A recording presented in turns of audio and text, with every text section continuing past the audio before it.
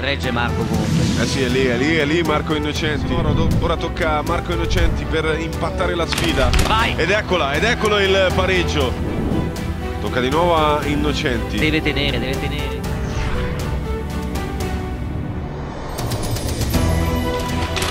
È arrivato, è arrivato su questo piattello lungo. Ho tremato però. Marco Innocenti ha vinto un argento, non ha perso un oro. No, no, è una grande prestazione, una medaglia importantissima.